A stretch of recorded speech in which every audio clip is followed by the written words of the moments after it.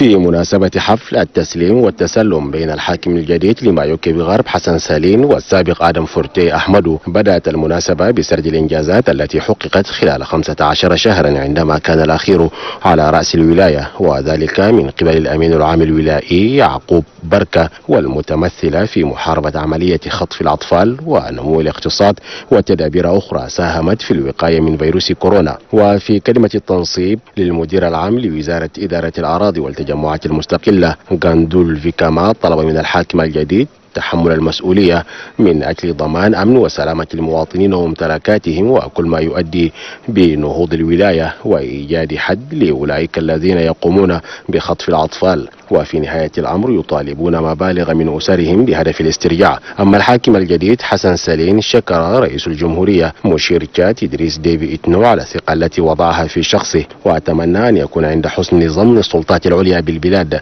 مشيرا إلى أن هذه الولاية ليست جديدة عليه. إذ كان قبل ذلك حاكما فيها فلذا إنه يعرف الكثير من الصعوبات التي يعاني منها خاصة في مسألة الأمن وعدم تطبيق القرارات الوقائية المتعلقة بفيروس كورونا المستجد. وطلب حسن سليم في نهاية حديثه من معاونيه الوقوف معه من أجل نجاح المهمة التي أوكلت إليه.